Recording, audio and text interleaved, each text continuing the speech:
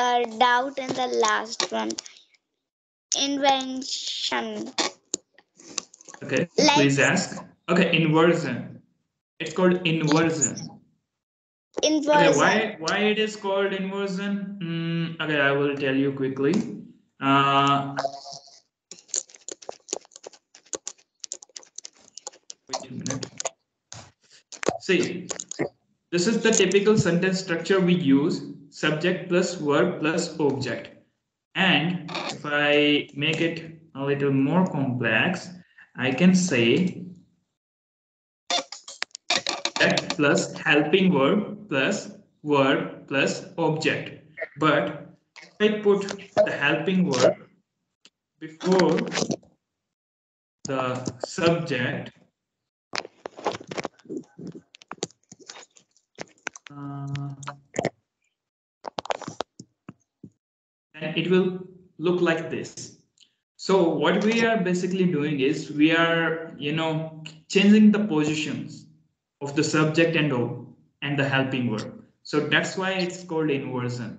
You are doing something which is, you know, right opposite of the basic sentence structure.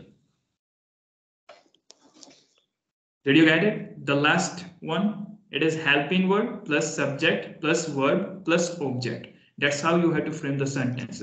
For example, if I say, uh, is he going to do his work? Are peacocks dancing on the terrace? Is monkey eating the banana? Is the monkey eating banana? Right. So here you use the word is at the first place, then you use the monkey, which is the subject, then you use the verb eating, banana is the object. Do you understand now? I understand, sir, but uh, I think we make the sentence like the is the monkey eating the eating the banana? Eating the banana. So uh, in this sentence, it's a form of question. You're asking from someone like, hey, is the monkey eating banana right now? Like that's a form of question. You understand? Understand, sir.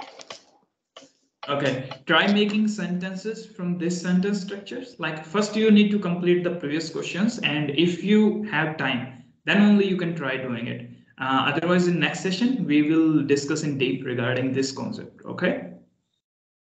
Okay, sir. All right. Well, uh, time to wind it up. I hope you enjoyed the session.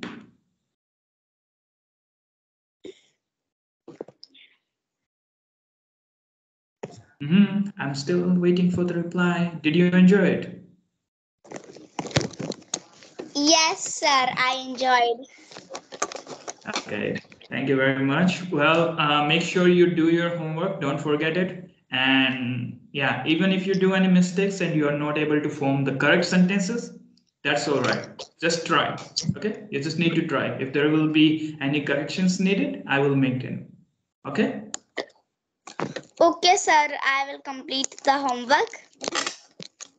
All right. So, well, then see ya. Bye bye. Have a great day ahead. Bye, sir.